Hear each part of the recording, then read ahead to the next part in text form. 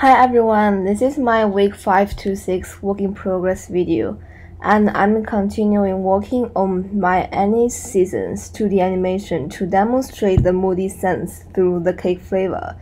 In these two weeks, I've shifted my projects into production and do some extra preparations and learnings outside the project to help me with further image drawing and animating process. So following the previous timeline, I actually pushed my project schedule a little bit forward to start animating scene 1, which is the cake shop starting animation, in these two weeks as I found myself animating really slow and hardly drawing some complex movements. And I've also got good news for my project as well. I found some students from Bachelor of Digital Media to collaborate with me on some design for my project so that I can actually focusing on producing animations. So returning back on these two weeks work in progress, I did my scene one line animations and to help me with the production, I did some extra preparations of learning some elements drawing and movements. To enhance the moody sense, I think it may be better for the project to have some little voiceovers. So I did the voiceover script writing as well. Based on my current scene 1 storyboards, I animate those shorts and I actually started a little bit after part 2 for the strawberry rotating and the strawberry girl appearing. So to start animate, I refine the line joints on my key shots for scene 1. I redesign the scenes from white cake shops to some closer shots of the inner space of the shop. And I also refine the character drawings as well, trying to maintain the eye feature of the sad Annie with a sharp line inside the eye, and trying to show any smooth change through the changes through eyes, from the sharp line at the start towards eyeball returning back to normal, and after smelling the cake, and also until eyeball turning into the heart to open the strawberry scene.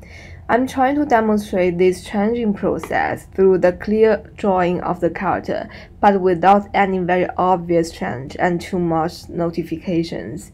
I just want to lead the audience to feel the change a little bit step by step. When I'm animating and drawing the character movements, I found there are a lot of hand movements in my current shorts while I'm hardly animate through some clear drawings. And I learned the basic skeletal structure of the hand outside the project production. And I practiced drawing of some basic hand movements from a relaxing state until picking up the things. And then I tried to apply them and simplify those drawings when animating the character hand movements in my Scene 1 animations as I find that hand movements is really important to demonstrate my project narrative, so it's a really important and necessary part for me to learn. Except the hand, while I was animating, I found some simple drawings of trees and building and space are also important to demonstrate my scenes. As in scene 1, there's some settings for the strawberry forest,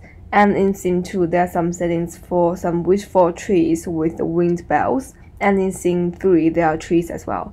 So I practice the drawings of trees and the space to get a basic sense of drawing the trees, buildings, and the space so that I can simplify it when I'm drawing later scenes. And I'm planning to apply and simplify these kinds of tree drawings in my Taro Wishful tree drawings and which hangs the wind bells in my later productions. While I was animating the end part of scene 1, I tested the strawberry animations. At first I'm considering doing some strawberry rotate animations, but when I was animate it in Clip Studio Paint, I found it a little bit hard on animate and imagine the rotating movements of strawberry. So I think maybe it would be better to animate a strawberry rain falling down. I tried to group several parts of strawberry and I combine them together. I also tested camera movements on strawberries. This is the part at the start of the part 2 storyboard. And after testing and doing those previous experiments, this is the whole scene 1 line animation which I produced during these two weeks after learning and testing. I haven't gone through the colors of my projects. Hopefully, I will test the coloring style in my next work in progress videos.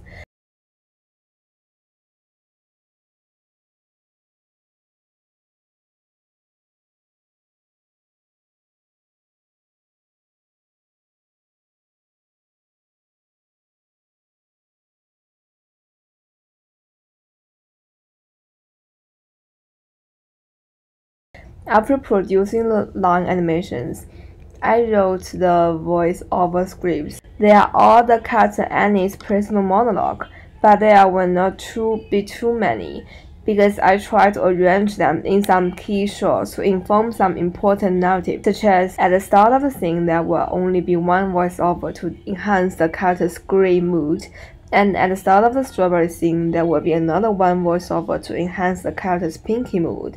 For the language using, I'm trying to add in a little bit of metaphor to not showing the character's mood very obvious, but demonstrate in an unclear and sensible way through some verbs of like being purple like a taro and also arm colors.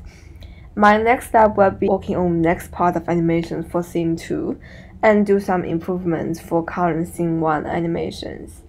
And this is my week 5 to 6 work in progress. Thanks everyone for listening.